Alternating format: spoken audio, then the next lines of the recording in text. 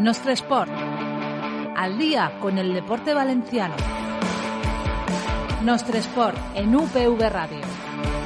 Bienvenidos amigos una semana más a Nostre Sport Radio, aquí en la UPV Radio, en la 102.5. Soy José Luis Silvestre y hoy es miércoles 22 de julio y hoy es un programa muy especial porque es el último programa de la temporada. Nos vamos, el deporte se acaba, o no se acaba, cambia, ¿no? Nos vamos a la playa.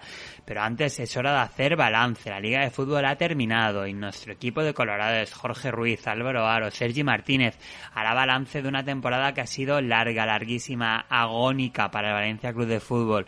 Y una temporada que ha sido, pues todo lo contrario, plácida, tranquila, pero sobre todo prometedora, ilusionante para el futuro, para un proyecto consolidado y en crecimiento, el proyecto Granota, el proyecto del Levante. Pues todo eso lo analizaremos con nuestros amigos y con nuestros tertulianos.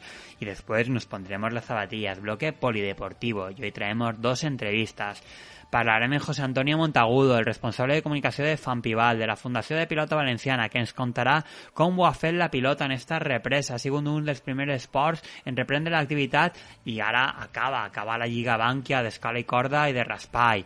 Y después nos embarcaremos, nos vamos a a navegar por el Mediterráneo a bordo del buque Escuela Cervantes Saavedra y nos acompañará en esta travesía Alberto de Zunzunegui Balbín, su coordinador, que nos explica en qué consiste este proyecto que presentan hoy, Travesía del Mediterráneo, un plan muy prometedor. ¡Arrancamos! Estás escuchando Nostra Sport, el deporte valenciano en UPV Radio, 102.5 de la FM de Valencia o radio.upv.es. Bueno, y arrancamos aquí con nuestro bloque de fútbol. Para ello, bueno, vamos primero que nada a presentar a mis compañeros. Tengo aquí delante, al otro lado de la pantalla, a Jorge Ruiz. Hola, Jorge. Hola, José Luis, ¿qué tal? ¿Cómo estás? Muy bien, aquí ya en este último programa de la temporada de Nuestro Sport. Y a Sergi, Sergi Martínez. Hola, Sergi. Hola, José, ¿qué tal? Buenas, Jorge. Bueno, chicos, pues a ver, eh, ¿por dónde empezamos? Se nos ha ido la Liga 19-20, ya, pues bueno, una liga muy especial, una liga que pasará la historia por, por muchas cosas, pero, pero bueno, lo cierto es que ya ha terminado y es hora de hacer balance. Hacemos balance del Valencia, del Levante, y bueno, si os parece, empezamos con, con el Valencia, con, con Jorge, ¿no? Que está siguiéndolo durante toda la temporada. ¿Qué sabor, qué sabor te deja esta temporada del Valencia Club de Fútbol, Jorge? Bueno, ya lo, ya lo titulé ¿no? en la última crónica del, del Valencia esta temporada en el Sánchez Pizjuán. Para mí, un fracaso la temporada, porque no has cumplido los objetivos. El objetivo primordial, más allá de un buen papel en la Copa del Rey o en la Champions, es que el Valencia todos los años juegue la Liga de Campeones. Entonces, a partir de ahí, si el Valencia no lo consigue, para mí ya es un fracaso. Entonces, estaba la opción viable, porque era ganar en Sevilla. Y si hubieses ganado, te hubieses metido en Europa League. Pero para mí meterse en Europa League es como cuando estás en una tormenta y llevas paraguas. Te estás tapando, pero te vas a seguir mojando. Entonces, ahora mismo el Valencia, como digo, está en la tormenta sin paraguas y sin absolutamente nada que le cubra. Y para mí es un fracaso la, la temporada. Sí que es verdad que ha ido de más a menos y que hasta febrero el Valencia estaba vivo en, todas las competiciones, pero a partir de ahí el equipo se ha caído. Yo diría desde la Supercopa de España, es cuando para mí el Valencia hace el primer gran ridículo de, la temporada, que fue perder de aquella manera, ¿no? 3 a 1 contra el Madrid, pero no, más, no solo el resultado, sino la manera de perder. O sea, el Madrid jugó medio gas, te marcó tres goles y te pudo marcar muchos más. Fue el primer ridículo del año. Sí que es verdad que el Valencia ganó después dos partidos contra el Barça y contra el Celta y a partir de ahí desapareció el equipo. También es verdad que ha tenido muchas lesiones a lo largo de la temporada. Ha habido partidos donde yo, mientras hacía la previa, mm, contaba 8, 9 bajas del Valencia por partido. Al final eso te acaba lastrando muchísimo y me acuerdo que el mes de febrero, que fue el mes, digamos, más difícil, siempre lo es en la cuesta de febrero, que todos los días hay partidos, el Valencia los tuvo que afrontar con Mangala, que no había jugado ningún partido, había jugado un par de partidos, y con Diacabí, que fue a menos. Entonces se notó mucho, el coladero es en defensa, me acuerdo dos goleadas seguidas, 3-0 el Getafe, 4-1 el Atlanta, 3-0 la Real Sociedad. ese triplete de resultados te dejó bastante cao. Y pese a que el Valencia antes de la cuarentena estaba ahí aún en Europa, creo que iba séptimo antes de entrar en la cuarentena y a cuatro o cinco puntos de la Champions, que al final, si hubieses hecho una buena vuelta ¿no? post confinamiento, el Valencia hubiese estado en Champions porque el calendario así lo decía. Jugaba contra equipo, la mayoría por detrás del Valencia en la clasificación y en ningún momento se ha visto cómodo el Valencia, en ningún momento. Eh, el primer partido tuvo que hacer mucho daño, porque al final vas 1-0, un partido difícil, que se te estaba atascando, marcas ese gol al final y, pese a todo, luego te empata el, Levante con un fallo bastante infantil, ya no sé ni cómo calificarlo de, de había, y a partir de ahí el Valencia ya muy, muy mal, lo cual no se excusa, yo no excuso a nadie, la verdad que me duele incluso darles algo de culpa a los jugadores porque son los que también te han hecho meterte en Champions dos veces consecutivas y ganar la Copa del Rey, pero cuando muestras una cara tan pobre, al final algo de culpa, aunque sea mínima, se la tienes que echar a ellos también. Dicho esto, creo que como dijo ayer Jaume Costa, cuando se despide en Instagram, hay cosas que afectan al vestuario, que, que suceden y que no es tan fácil ¿no? de llevar el día a día con una destitución del director general que te lleva al éxito, del entrenador que te lleva el éxito también. Luego el presidente antes de un partido les dice que va a vender a todos. Y muchas más cosas, ¿no? Lo de Garay, que también no sentó bien. Al final, un, vestuario que estaba unido y que no había fisuras, acabó siendo un vestuario profesional, porque son, son gente profesional, pero yo creo que ya un poquito más dividido y con subgrupos que antes no, que antes no existían. Entonces, al final han, han explotado todo, todos han explotado en el vestuario y el Valencia ahora mismo no sé hasta hacia dónde va. Yo tengo bastante incertidumbre porque seguimos sin entrenador, sin director deportivo que parece que no lo va a hacer, no lo va a fichar, sin director general, con una plantilla que todos tienen el cartel de transferible. Ya veremos quién se va. Yo creo que no va a ser una desbandada, ni mucho menos, porque el mercado no te lo va a permitir pero ya tienen todos el cartel de transferible y esa sensación de que el proyecto no es estable.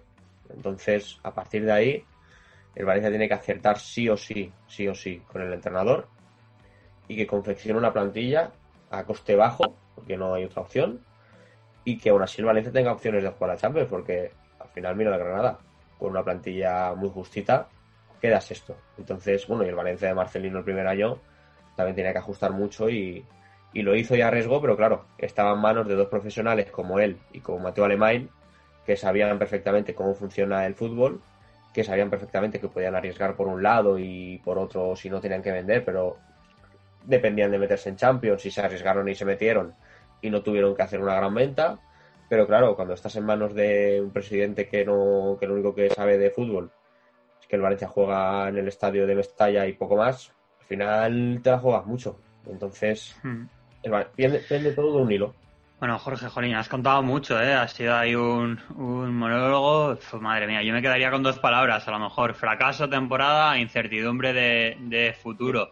Eh, Sergi, no sé si estás de acuerdo con, con Jorge. ¿Qué balance haces tú de la temporada? Que es un poco más corto y ¿En qué momento, cuál crees que fue el hito, ¿no? el punto de inflexión para esta temporada que, bueno, iba bien, es verdad que la Valencia arrancó bien, estaban puestos de Champions, eh, vivo en las tres competiciones, pero este tramo final es que se ha disuelto como un azucarillo.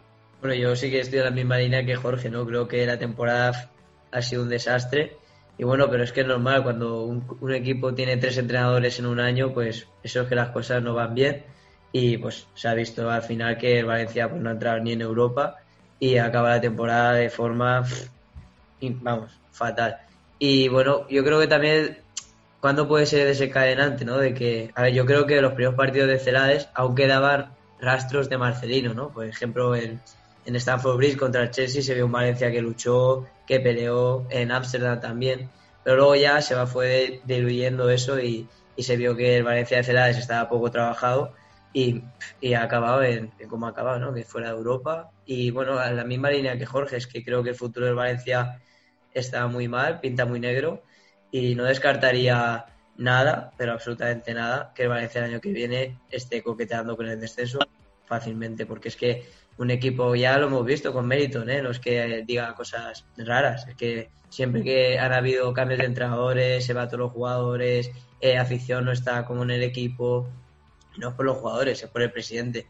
Pues ya hemos visto que hemos estado peleando con, con Paco y Estará, con Neville, peleando por el descenso y no descartaría nada. Da igual que viniese aquí Pep Guardiola, porque es que si las cosas no van bien, el entorno no es bueno, es normal que el equipo y el futuro de Valencia sea muy malo. Mm. Se nos ha unido ya nuestro compañero Álvaro. Hola Álvaro, buenas tardes, buenos días, ¿cómo estás? Hola, hola a todos. He tenido unos problemas técnicos, lo, lamento, pero nada, ya estoy aquí. Estaba escuchando lo que decía Sergi sobre Celades, que bueno, ya, ya lo habéis estado comentando, pero la temporada de Valencia una auténtica decepción. Y mm. veremos a ver cómo se da la temporada siguiente, pero sin duda una de las grandes decepciones de la liga ha sido este Valencia de Celades. Mm. Oye Álvaro, y fíjate, eh, Jorge decía, por decirlo en dos palabras y un resumen rápido, temporada, resumen, fracaso, futuro, incertidumbre.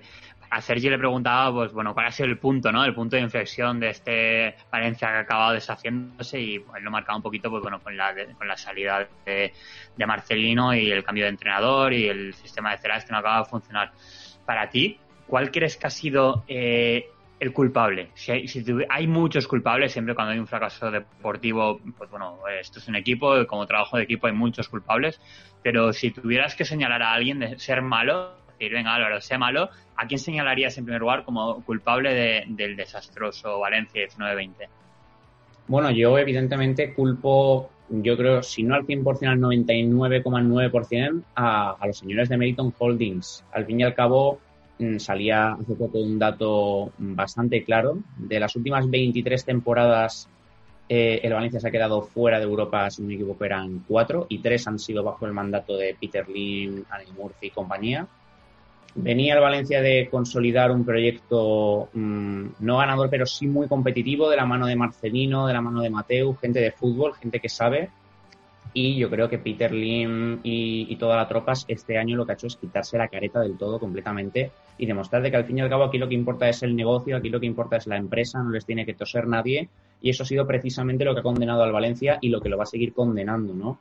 Al fin y al cabo, no sé hasta qué punto el valencianismo se ilusiona con la temporada que viene, pero con esta gente tomando las riendas del club y sabiendo ya de antemano cuáles son sus intenciones, visto está, por ejemplo, el lavado de cara que quieren hacerle al equipo descargándose o deshaciéndose de piezas claves mm, por doquier, pues sinceramente la situación de Valencia es muy preocupante, queda todo, eh, eh, queda todo colgando de un hilo y veremos a ver cómo se soluciona. A mí la verdad me preocupa ver la situación del Valencia, ver cómo pues, bueno, yo creo que a cualquier aficionado al fútbol que, digamos, sienta un poco de compasión por el valencianismo, sí que se tiene que sentir un poco triste de ver cómo un club tan histórico, al fin y al cabo, está siendo utilizado al, antojo de tres o cuatro personas de dinero. Mm.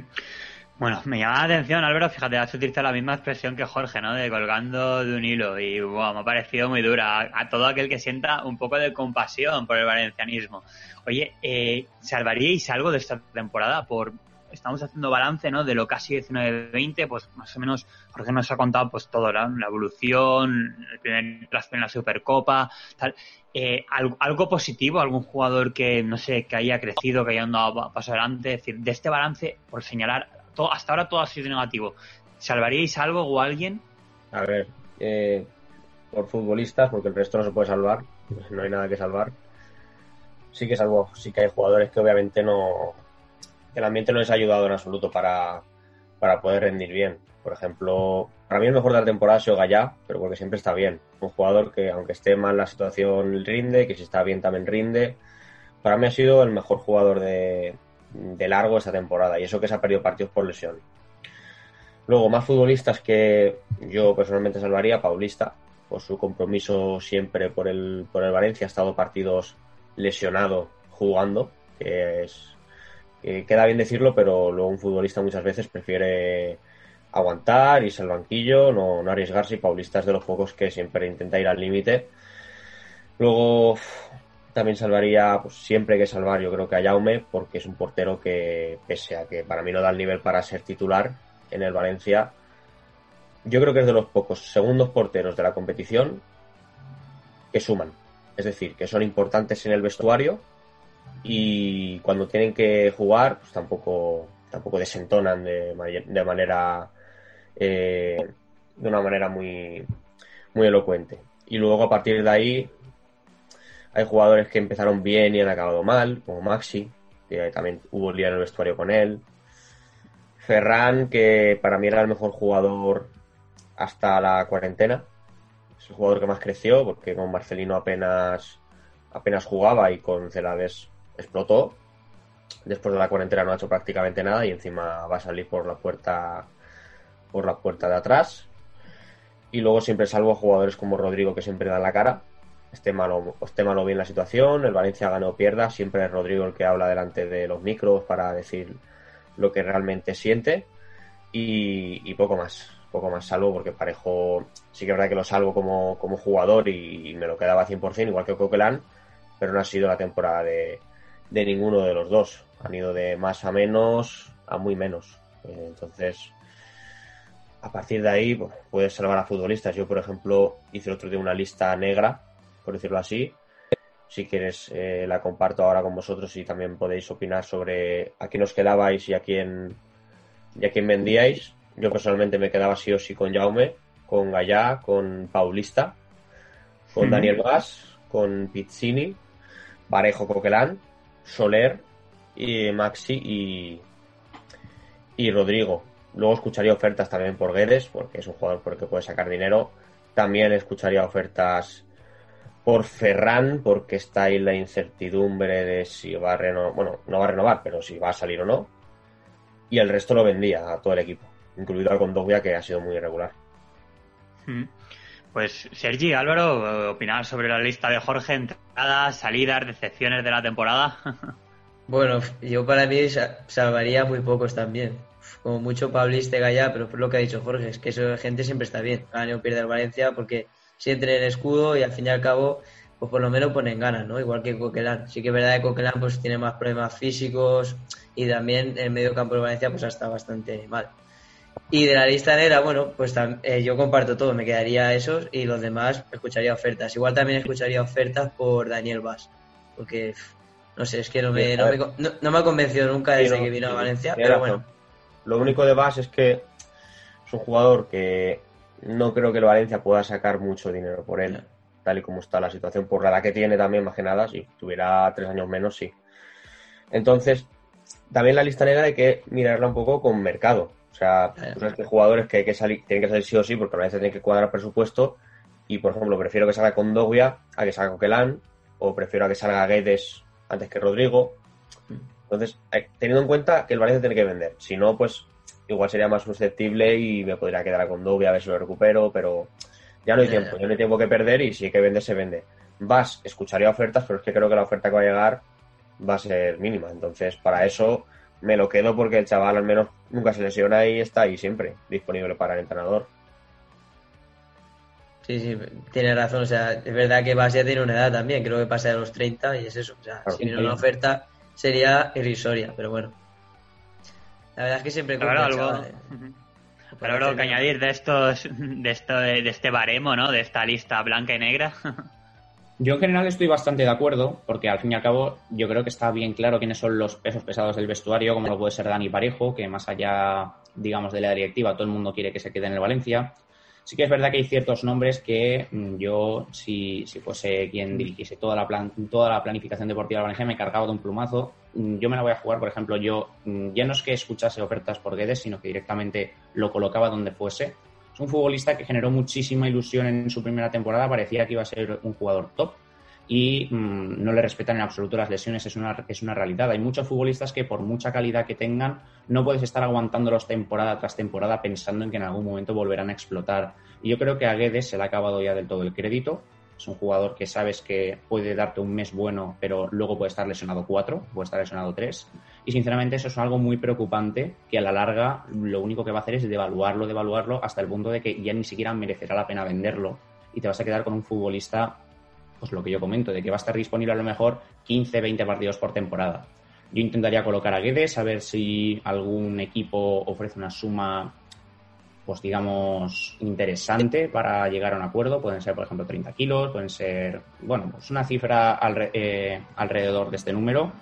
Sí que me quedaba, pues, como comentaba, con futbolistas como Dani Parejo, Chaume Domenech, no por el nivel que le aporta al Valencia Club de Fútbol, porque yo sigo pensando de que no es un portero que en cuanto a calidad deba, digamos, igualarse con otros pesos de la plantilla, pero por lo menos el tío le mete una actitud que ningún otro en la plantilla le mete, es un futbolista que también hace vestuario, es de la casa, entonces pues me quedaría con Jaume Domenech, siempre y cuando eso implique traer un portero de gran calidad. Yo creo que Zilesen, pese a que en este último tramo ha mostrado un muy buen nivel y se ha convertido en uno de los mejores del equipo, ha mostrado una irregularidad que no se esperaba de un portero que venía del Fútbol Club Barcelona con la imagen de ser uno de los segundos mejores porteros de la competición, por no decir el mejor. Entonces, pues también buscaría un portero, mm, tocará también renovar por completo prácticamente toda la defensa, el tema de los laterales, mm, traer también fondo de armario. Veremos a ver qué pasa con Guillamón, que me parece un futbolista excelente por lo que está demostrando en las últimas jornadas.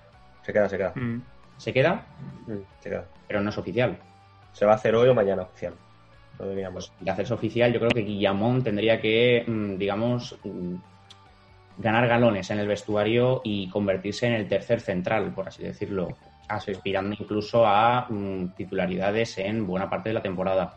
Entonces veremos a ver cómo se lo monta el Valencia, si hace esa limpieza de la que tanto se habla va a tener que fichar muchísimo y futbolistas que en un principio incluso igual no gustan, pero que tendrán que mostrar sobre césped si realmente dan la talla en un equipo como lo es el Valencia, que aspira todos los años a meterse en la cuarta plaza.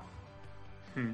Claro, Álvaro ya nos estaba aquí eh, enfocando ¿no? hacia, hacia el mercado. Un mercado, a ver, antes de incluso hablar de, de nombres que están sonando y estamos en la época en que nos van a estar acompañando durante todo el verano, eh, hay dos condicionantes para el mercado de este verano de, fútbol y del Valencia en particular, y muy grandes. Uno, la situación social, económica e incertidumbre que va a devaluar el mercado, que va a hacer que haya mucho menos dinero para invertir y que tampoco tenemos muy claro qué movimientos van a hacer los grandes clubes. También, fijaos que el mercado de fútbol es muy de una pelota a otra, ¿no? Es decir, si hay un gran movimiento, se inyecta mucha liquidez y hace que el que lo ha vendido compre a otro y, hay una cadena. Si todo está más parado, pues eh, que todo el mundo está más parado y los movimientos son menores. Eso uno. Y luego dos, en el caso de Valencia, es que seguimos sin tener claro quién es el entrenador. Eh, fíjate que el último, ¿no? El, el último programa de radio estábamos ahí hablando, súper ilusionados con con. Ay, es posible, se me ha ido ahora el, de los Etafeches. ¿Será posible? ¿Cómo se llama? Bordalas. joder. Y, y, ahora esta semana ya no se habla de él, ¿no? Ahora parece que el, hombre de moda es. Lo preguntaba antes a Jorge, Javi, es que yo ni lo conozco, al tío este. Javi, ¿cómo, cómo se llama? El, que está sonando ahora. Javi Gracia.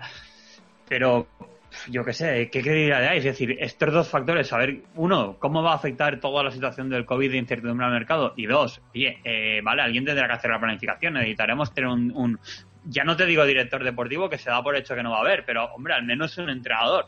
Eh, ¿Cómo creéis, qué situación de mercado creéis que se va a encontrar Valencia y qué, no sé, qué perfiles de jugadores o hacia dónde creéis que puede evolucionar esto? A ver, pero lo de entrenador yo creo que es muy fácil. Es lo que quiera Lim. Si, si Lim quiere mañana fichar a José Luis Silvestre, lo, le llama y se lo lleva para el banquillo.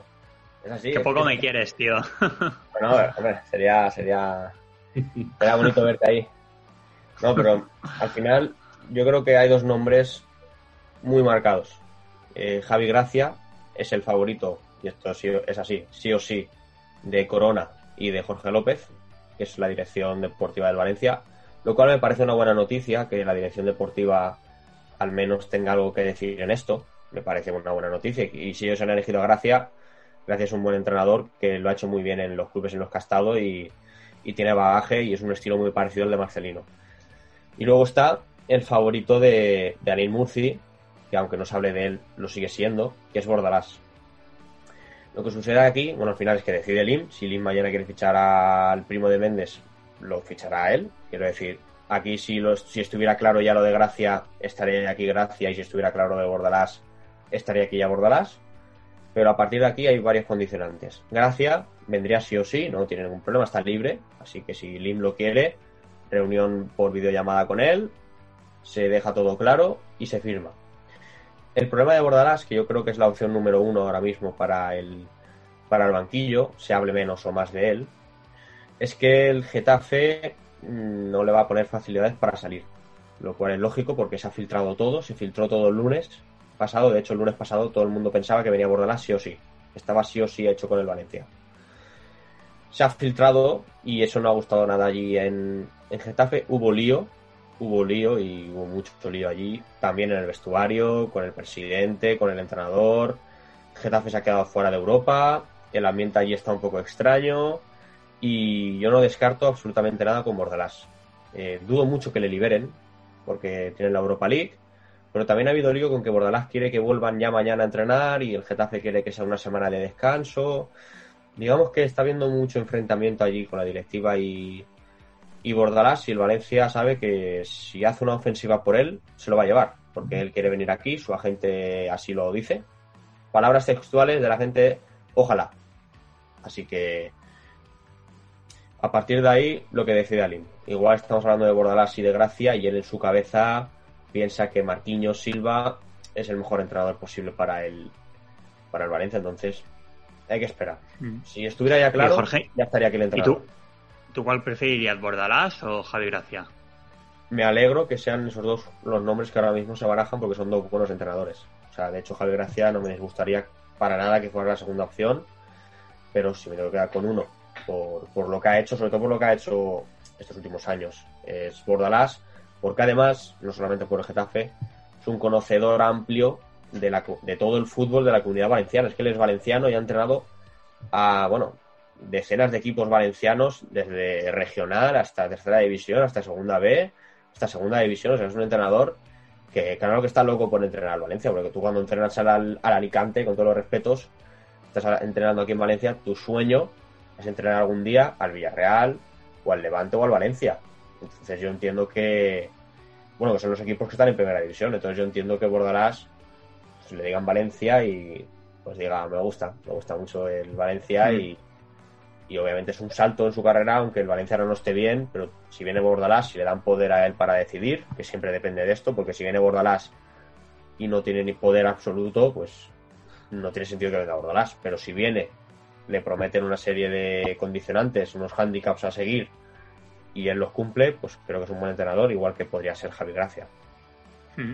Y Vosotros, Sergi, Álvaro, ¿qué, qué evolución pensáis que puede tener el mercado de, de fichajes del Valencia? Y, bueno, ¿qué perfil de entrenador o por qué entrenador apostaríais? Bueno, a mí la verdad es que me sorprende que en este caso Neil Murphy, que va a hacer de presidente, director deportivo y todo, sin tener ni idea de fútbol, pues me sorprende que vaya haciendo ya él la lista negra de los que se tienen que ir sin contar con el entrenador. O sea, lo lógico es que el entrenador planifique, pues mira, quiero a este jugador, no quiero a este, quiero este tipo de futbolistas.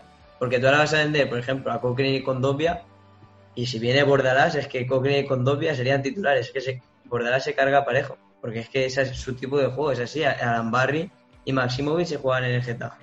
Y en los en anteriores equipos, en el Alcorcón, en Alicante, en el Elche, que también estuvo, era así, todo defensivo. Entonces, no tiene mucho sentido decir, mira, eh, esto fuera y sin contar con el entrenador. No, es que no, no me cuadran las cosas. Y no sé, perfil de jugador, pues eran de Méndez, jugadores baratos, jóvenes y que, bueno, pues que dentro de unos años se puedan vender y sacar beneficios. Que yo creo que y Ángel Herrera, por ejemplo, se está hablando ahora mucho, jugador joven, barato y que dentro de unos años lo venderás por 30, 40 millones si todo sale bien y ya está. Y perfil de entrenador, pues a mí me molaría Bordalás, que a mí me gusta mucho Bordalás porque ya lo seguía en el Elche, pues yo tenía un amigo que jugaba con él y lo seguía y la verdad es que me ha siempre y creo que lo ha hecho súper bien en el Getafe, aunque también es verdad que Javi Gracia es un buen entrenador. Pero yo, si me tengo que mojar por uno, es por Bordalás. Y creo que Ani Murphy dice Bordalás porque la afición del Valencia, el que lee mucho Twitter, sabe que pide a Bordalás. Y, y sería relajar un poco, eh, pues eso, la crispación de la afición. Pero vamos, que yo si me tengo que elegir a uno, Bordalás. Mm. Y tú, Álvaro, y ya vamos acabando con el bloque valencianista, que si no, bueno, echamos la mañana. Eh, algún ¿Qué retocarías? A ver, si antes has dicho ya mucho, ¿no? Has dicho, bueno, pues empezaría por detrás, tenemos que renovar los laterales teniendo en cuenta la lista de, de salidas. Eh, ¿Qué más piezas crees que tiene que buscar el Valencia en este, en este mercado de verano?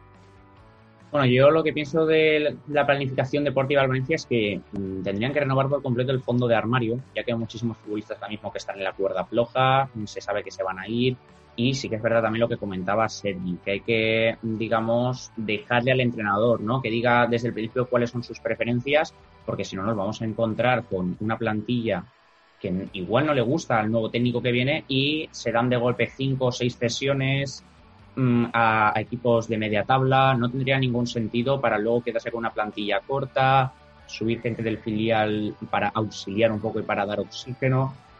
Es un completo disparate el hecho de que de repente, mm, digamos, nos pongamos a vender, a comprar jugadores para que luego traigamos un técnico y que se encuentre con lo que sea. Entonces, primero que se asiente el entrenador que sea en el banquillo, bien sea Javi Gracia o bien sea Bordalás, aunque yo ahora mismo pienso que si lanzas una encuesta al valencianismo de quién prefiere, yo creo que será un 90% Bordalás. Es un nombre que desde hacía muchísimo tiempo, muchísimos meses, mm, digamos, se barajaba o se elegía como la opción ilusionante para el futuro del Valencia y de darse, pues va a ser una grandísima noticia para, pues, para todos.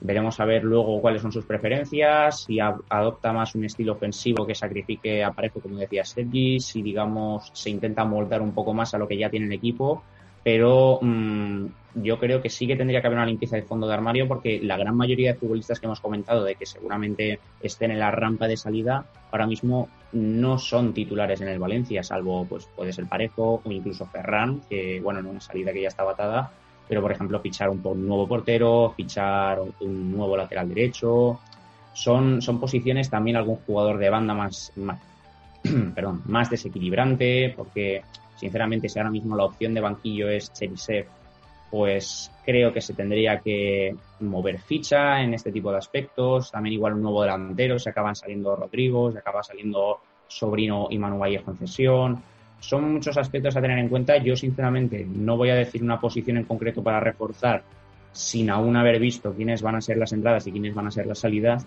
pero yo creo que en general se tienen que mirar todos y cada uno de los aspectos y, por supuesto, siempre respetando al entrenador que está en el banquillo, que, por supuesto, yo, si me tuviese que elegir como la voz del valencianismo, yo me quedaría con Bordalás por un tema de que Javi Gracia, a mí, desde luego, tampoco me parece mal entrenador, pero sí que es verdad que no se sabe aún lo que puede hacer con un gran proyecto y Bordalás, de hecho, ha creado de la nada grandes proyectos como es el Getafe. Entonces, por una cuestión de lo que ya se ha visto de cada uno, yo me quedo con Bordalás, que además es un nombre que ilusiona.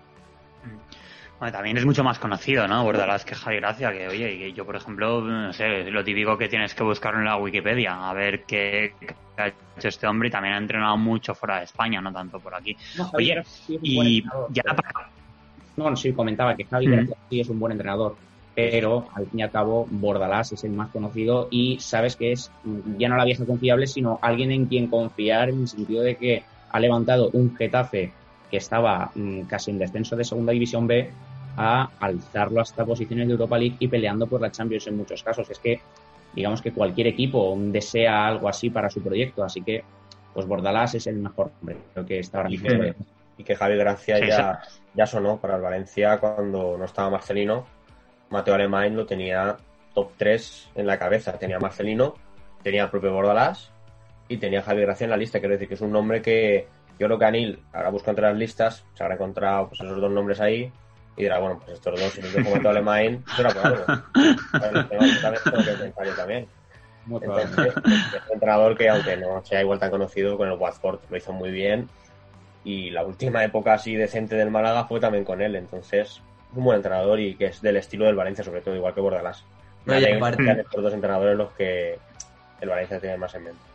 Aparte, otra de las cosas porque ya ha trabajado con un propietario de ese estilo. Con lo, con lo que ha comentado Jorge, con Altani en el Málaga, pues aquí sería algo parecido, con Peter Lee.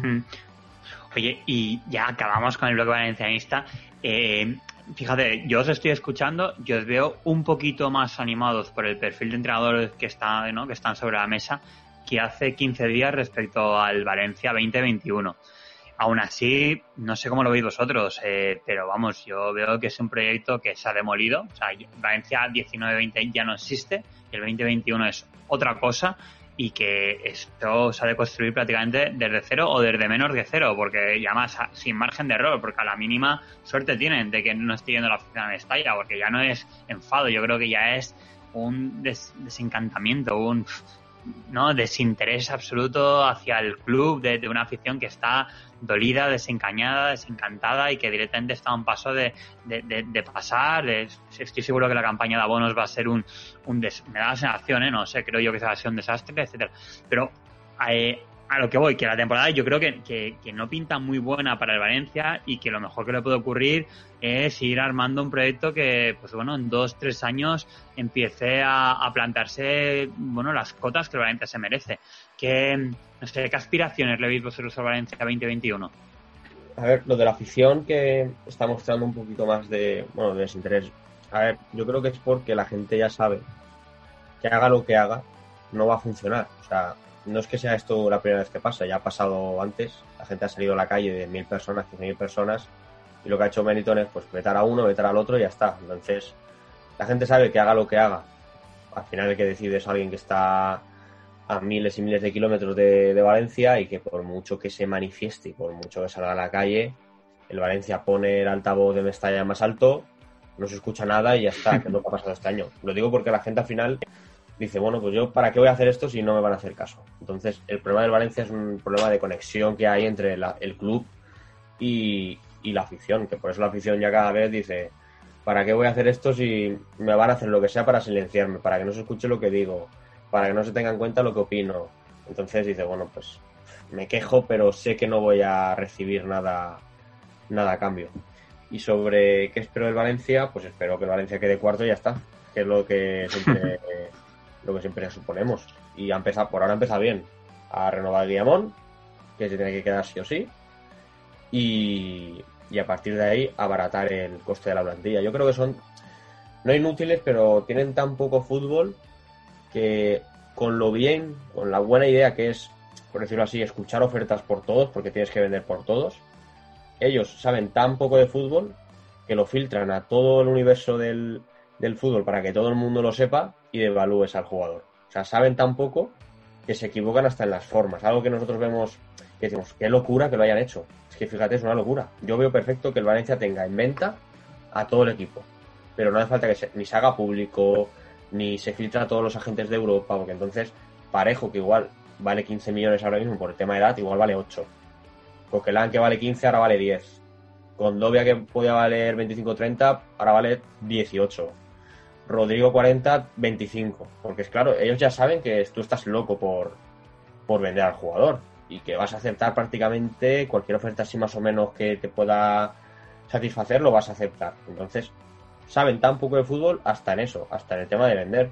Todo lo contrario que Mateo Alemán, que fue capaz, por ejemplo, de vender a Murillo, un jugador que estaba totalmente cao en el Valencia, no había jugado ningún partido de, de temporada, lo vendió por 15 millones. Entonces, son diferencias entre uno que sabe y otra gente que pues, se piensa que por filtrar a la prensa va a salir más caro el jugador. Hmm. Bueno, yo estoy, yo pienso que eh, un aspecto positivo de esta temporada es que creo que la afición del Valencia, por fin, después de un año desastroso, por fin ha despertado, ¿no? Que para mí es que estaba dormida, no, estaba muerta la afición del Valencia. Por Twitter veías que la gente, sí, mucho hashtag, mucho tal, pero a la hora de la verdad nadie salía a protestar y al final pues mira, han hecho con el club lo que han querido. Y bueno, pues eh, para la temporada 2020-2021, pues yo lo, lo, he dicho antes, creo que el Valencia pinta muy mal, o sea, sinceramente, es que el entorno no es nada bueno. Yo creo que cuando podamos volver a Mestalla, cuando se pueda, la gente, o sea, los jugadores no van a poder jugar ahí porque el ambiente va a ser muy malo y creo que jugadores si encima se va parejo y tal, no va, no va a haber gente veterana, va a haber gente chavales que cuando se pongan ahí delante de Mestalla y vean 50.000 personas silbándote, diciéndote de todo, porque las cosas no si no van bien, se van a caer los pantalones abajo, o sea, es que es así. Y bueno, pues ojalá que quedemos cuartos con Bordalás, con Javi Gracia o con, no sé, con el primo de Jorge Méndez, porque sería lo mejor para Valencia. Madre mía, yo cuartos, eh, es que no lo ¿Dónde hay que firmar? Muy bien. Claro, pues que veo, por ejemplo, eh, el Levante mismo. Si es que el Levante está, eh, ahora que hablaremos de ello, el Levante está con una línea ascendente, ¿sabes? O sea, tiene un bloque, un entrenador que lleva ya años, que sabe a lo que juega. Es que otra vez el Valencia, otro proyecto nuevo. El año que viene se lo cargarán, o a los dos años y otro más. Es que así no se puede. O sea, es que el Valencia así pues no puede ir. Parecen políticos, ¿no? Destruyendo lo que hacen el año anterior para... Oye, qué bien que hayas hablado del Levante, porque así, Álvaro, eh, vamos a hacer la transición contigo. Dinos, expectativas del Valencia 2021 y ya engánchate con tu Levante. Cuéntanos, a ver, este balance del Levante 20.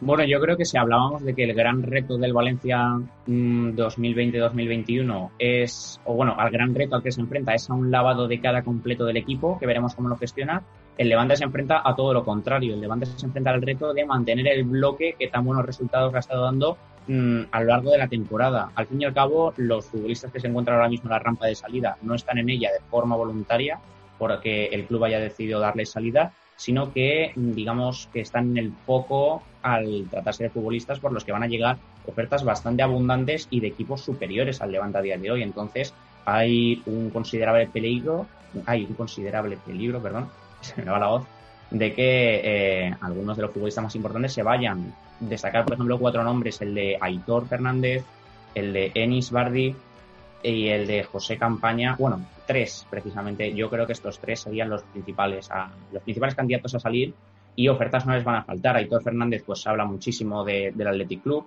Se habla, por ejemplo, también Denis Bardi, mm, salía por ahí una oferta del Arsenal, que no sé yo hasta qué punto es verídica. Yo de momento pienso que no existe o que no se ha puesto sobre la mesa, aunque seguro que interés hay.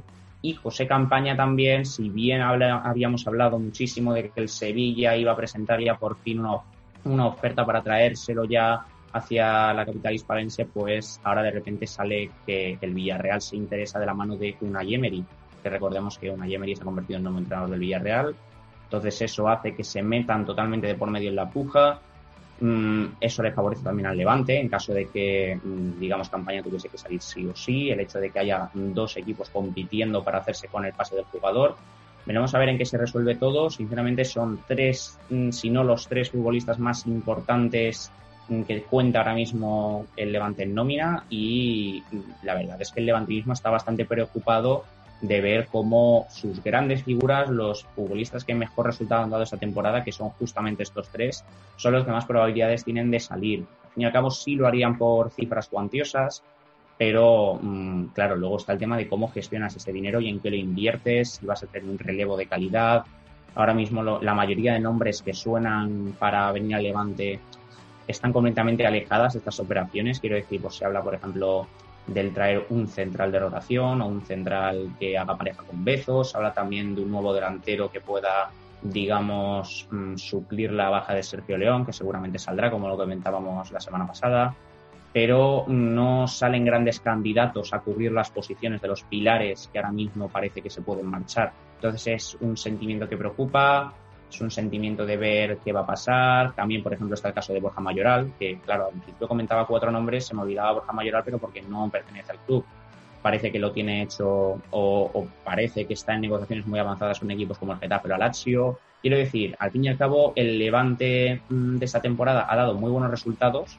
Al fin y al cabo, pues ha conseguido la segunda mejor clasificación histórica en primera en cuanto a puntos y se espera que por lo menos se consiga mantener el bloque, aunque va a estar muy complicado. Mm, ya, ya dijo Kiko Catalán que solamente escucharía ofertas por debajo de la cláusula por uno de sus futbolistas y mm, bueno, eso implica también de que seguramente se va a producir una gran salida. Cuanto menos daño haga, mejor. Bueno, pero Álvaro, fíjate que que, oye, la situación de Levante es bastante cómoda en el sentido de que tiene la sartén por el mango. Es decir, el proyecto continúa y la base de la continuidad del proyecto es el entrenador, Paco López, y las salidas que estás diciendo que son importantes y sensibles. Claro, eh, el Levante no está como el Valencia con la necesidad imperiosa de vender, siempre se lo está, pero no está con, tienen que seguir, sino que está decir, bueno, voy a escuchar y voy a hacer caja con jugadores importantes que bueno, pues por desgracia un club como Levante, que, o como todos, quitando Madrid y Barça, es el sino que, tienen, con lo cual, bueno, no sé, yo creo que, es una situación más, claro, tiene que gestionar, tiene que hacer bien el cambio de cromos, ¿no? Este va un peso pesado coger a alguien de la calidad para suplirlo en un momento de mercado complicado, pero es una situación más cómoda que la que veíamos con, con, el Valencia. Por cierto, hablar de clasificación está viendo que el Levante tiene 49 puntos, Valencia ha tenido 53, que ha quedado 4 puntos de, del Valencia. Eh, vosotros, Jorge, Sergi, ¿qué tal, qué, qué balance hacéis de la temporada del Levante? Yo creo que el Levante está para el año que viene dar un pasito más. Yo creo que le ha faltado un poquito de ambición, aunque sí que es cierto que cuanto más se ha dudado a la plantilla, mejor ha rendido el Levante. Yo me acuerdo del partido contra Mallorca que mm, se habló muy mal de la actitud de, de toda la plantilla. Parecía que se iba a pasear los últimos dos o tres partidos y al final. Y, cayó todos los rumores ¿no? que, de los que se habló ese día contra el, contra el Mallorca, contra el Celta. Entonces, al fin y al cabo, yo creo que el Levante lo ha hecho muy bien. Y los puntos están ahí, eh, por encima incluso de lo esperado, porque llevaba años sufriendo atrás y el año pasado estuvo al borde de, de descender por un par de detalles cuando el Levante lo tenía más o menos controlado. Y este año, pese a tenerlo controlado, ha acabado de rematar la faena y además muy bien. Pero sí que creo que está para el año que viene, aunque venda un jugador muy importante, como pueda ser campaña por 25, 30, 20 millones, está para acertar en los fichajes y dar un pelín más de, de rendimiento aún. Está, este año yo creo que el Levante estaba para pelear Europa, porque al final Granada ha dado la sorpresa. Nadie se esperaba mm. la Granada y estaba ahí. Creo que era año para que el Levante un poquito más de regularidad al final y tal vez se hubiese metido ahí, porque ganas en Mallorca y ganas un par de partidos más y estás ahí en. Bueno, y quedas esto, básicamente. Entonces, qué pena, porque yo creo que era año para dar una sorpresa y estar en Europa. Entonces, yo mantendría a Paco López porque creo que es el entrenador perfecto para el, para el Levante.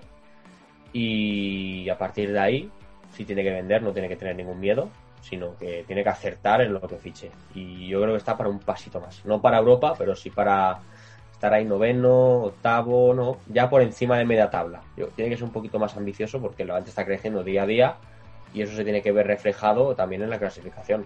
Mm, meterse, ¿no? Entre los 10 primeros. Fíjate que hablabas del Granada, el Granada está con, a ver, lo tengo aquí con 56, 54, el Granada con 56 puntos, ¿no? Es decir, que 7 puntos más que, que el Levante al final pero no sé, no sé tú, Sergi, no creo que el Granada tenga mucha mejor plantilla que el Levante, casi diría al contrario, que el Levante tiene mejor plantilla que el Granada, ojo, pues ole, ¿no? Chapó la temporada de Granada, por supuesto, pero que es que, que posiblemente, oye, podía haberlo conseguido.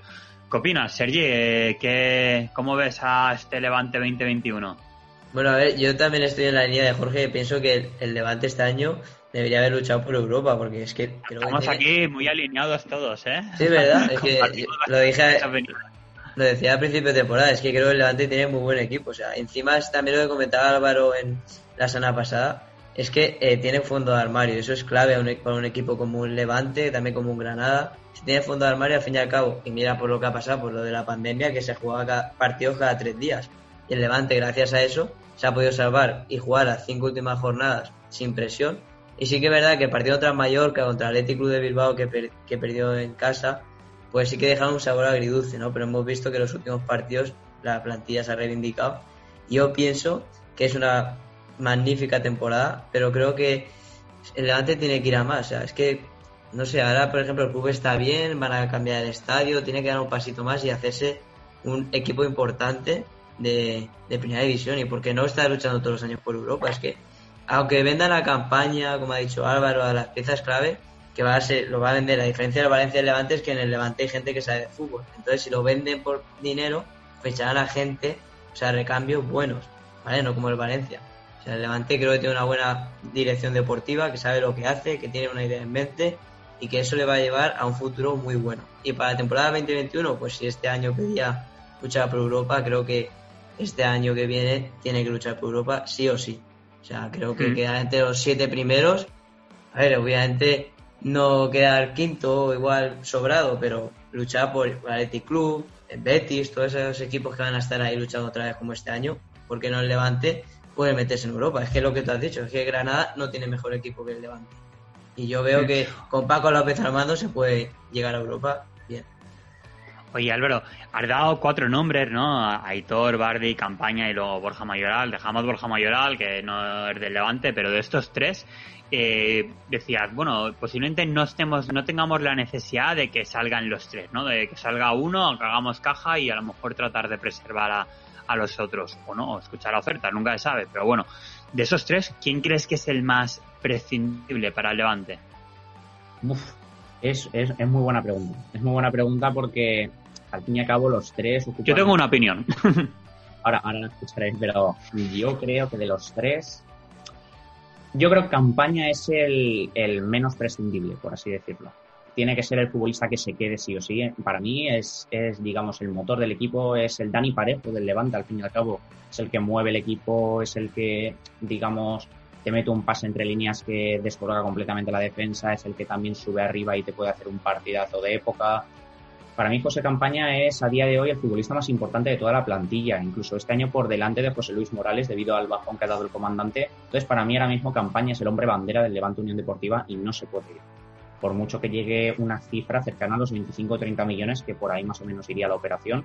Yo creo que si hubiese que quedarse con uno sí o sí de esos tres, te diría campaña. Ahora, si me dijese que tengo que elegir entre Barney y Aitor Fernández para que, digamos, tuviesen que abandonar el barco, mm, a mí me cuesta muchísimo elegir, pero yo creo que me quedaría con Bardi en el equipo y acabaría escuchando ofertas por Aitor. Y no lo digo por nada, sino porque es una decisión muy difícil de tomar, pero yo creo que el hecho de a lo mejor vender a Aitor, ya sea al Athletic, ya sea al Betis, por ejemplo, que también buscaba portero y se escuchaba como candidato, yo creo que es más sencillo encontrar un gran portero, que no digo que sea sencillo como tal, simplemente que es más sencillo, digamos que te trae menos problemas que el hecho de encontrar un centrocampista tan prometedor y con tanta proyección de cara al futuro como lo es Enis Bardi, que de hecho mejora partido tras partido. Llegó el, el macedonio en la primera temporada siendo un futbolista que, pues, digamos, con instinto goleador, muy buen, muy buen lanzamiento de falta, pero se resumía prácticamente en eso. Ni tenía la forma física que tiene ahora mismo, ni tenía el juego en equipo que tiene ahora mismo, que de hecho esas fueron uno de los motivos por los que Muñiz, cuando estaba en el banquillo del Levante, terminó apartándolo prácticamente media temporada, pese a que luego terminó el curso con, si no me equivoco, eran 8 o 9 tantos. Quiero decir, es un futbolista que al principio era simplemente un jugador de estadística, un jugador pues de momentos concretos, y han ido pasando las temporadas y tiene sacrificio en defensa, sabe mover al equipo, mm, digamos que ha aumentado su carisma también enormemente, que eso también es muy importante y se plasma sobre el juego y se contagia. Yo creo que a día de hoy el perfil de Nisbardi es tan, tan, tan importante en el Levante que yo creo que Aitor podría ser incluso más sustituible por el tema de que puedes traer otro buen portero que no te dará los mismos números, pero sí puede estar cerca de ellos. En cambio, Enis Bardi, de hecho, si continúas en el Levante una temporada más, puede que incluso aumente su valor por 20 millones, cuando en verdad Aitor, pues los 15, 20 los que está tasado ahora mismo, yo creo que es lo máximo por lo que se puede sacar, por lo que se podría sacar por él. Así que opto por quedarme en Isbardi y Campana. Joder, Álvaro, pues mira, me has convencido casi, porque yo justamente iba a decir a, Bardi, ¿no? Pensando en que, bueno, es verdad que es un tío que juega muy bien, tiene 25 años, tal, pero dices, mira, pues Aitor lo típico de empezar a construir el equipo desde atrás, te da, te da mucha seguridad que eso se transmite al equipo, ¿no? Y oye, pues si, si eres capaz de conservar a Hitor y a Campaña, dices, bueno, pues tengo ahí un eje muy brutal y a partir de ahí, pues bueno, voy, voy rellenando. Pero, pero me ha gustado tu, tu speech de, de Bardi, oye, te lo, te lo, te lo compro. Eh, Jorge, Sergi, si un nombre propio, Levante balance todavía, ¿no? 19-20, nombre propio del Levante, ¿a quién diríais? Héctor Fernández. Yo mm. creo que es el, nombre del año. Nadie se esperaba que mm. tuviese ese rendimiento. explosión, ¿no? Claro, nadie lo esperaba a principio de temporada. Y para mí ha salvado al Levante de muchos de, perder muchos puntos, ¿no? Luego ya a partir de ahí, entre los nombres que habláis, yo tendría dudas con Bardi porque creo que puede llegar a explotar y, y no sé hasta no sé hasta dónde está su techo. O sea, por ahora para mí era un jugador muy intermitente que parecía partido sí, luego desaparecía tres, pero ahora le he visto más regular. No sé cuál, o sea, su techo yo creo que aún está por ver. Entonces yo creo que Bardi debería seguir en el Levante para ver hasta dónde puede llegar el techo y, creo que de hecho el Levante puede sacar más dinero por Bardi que por cualquier jugador de la plantilla, porque es un jugador joven y, y que está en alza campaña es que lo que decís, yo creo que es el parejo del Nos quedamos con los tres. Claro, es que me quedaba con los tres y ya está, pero claro, entiendo que es complicado. Mm, tengo dudas, porque creo que el Levante en defensa con Paco López nunca va a ser un equipo muy, muy, muy fiable. Es un equipo que va para arriba. Entonces creo que ahí es clave campaña y es clave Bardi. No sé, yo tendría en cuenta que el portero, antes puede fichar también un buen portero y aunque no tenga ese rendimiento, lo puede hacer también Bueno, mira, mira que los Navas. El Levante ha sacado dos porteros buenos en 6-7 años. Yo me decanto más por el portero. Fíjate lo que te digo, porque creo que Bardi, si se queda otro año más en el Levante y acaba de ser regular, que marca 10 goles y reparte 8 asistencias, y el año que viene el Levante saca 30 millones por él. Más. O más. Si firma esos números, saca más. fíjate, pero mira, Hitor, pobre. No, que digo, decía Jorge, hombre, hombre, jugador, nombre del año en el Levante, Aitor. Mm, sí, de, ¿a quién prescindiría estos tres? Aitor. Sí, José Luis, pero es una cuestión de perfil. Al fin y al cabo, es que es lo que parece, ¿no? De cómo es posible que te quieras deshacer del el mejor portero de la competición para la gran mayoría, bueno, y el que ha sido, pues, el futbolista más clave en toda la temporada. Pero es que por una cuestión de perfil, por una cuestión de lo que te puedes encontrar en el mercado, por una cuestión incluso del sustituto, es lo que comentábamos, puedes traerte un portero que también sea muy bueno, que no te ofrezca a lo mejor esos mismos números tal cual, pero sí que se puede acercar. En cambio, mm, digamos, encontrar un sustituto a lo que te ofrece ahora mismo campaña y a lo que te ofrece y te puede llegar a ofrecer Bardi, porque yo sinceramente pienso que el techo de Bardi no lo vamos a ver hasta dentro de un par de temporadas o tres.